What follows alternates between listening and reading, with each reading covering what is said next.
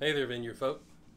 You know, I'm teaching from a text from the book of Mark this weekend that always makes me pause. In chapter 10, it says that there's a couple of the disciples that were asking Jesus if they could have the seats of honor with him when he took his throne, the left and the right. And Jesus took that opportunity and he lays out this new kingdom truth for them. And he says, You know, that those are that those who are regarded as rulers among the Gentiles they lord it over them and their high officials exercise authority over them but not so with you Instead, whoever wants to become great among you must be your servant, and whoever wants to be first among you must be a slave of all.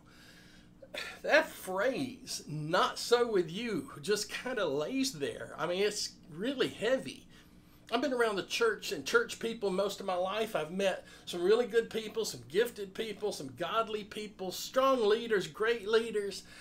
I still struggle some with what that passage implies because this isn't some nicely packaged corporate leadership model. I mean, it's completely counterintuitive, completely countercultural, and we all understand how power works. I mean, someone has the power and you do it their way. I mean, that's the way we know it, but not so with you. In this upside down kingdom, if you desire influence, you exercise it from underneath and not from above. You demonstrate power under, not power over. You serve, you raise people up, you give preference to others. It's crazy. And it challenges me greatly.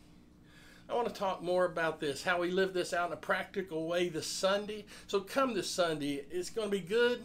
I love you. I'm praying for you, and I'll see you then.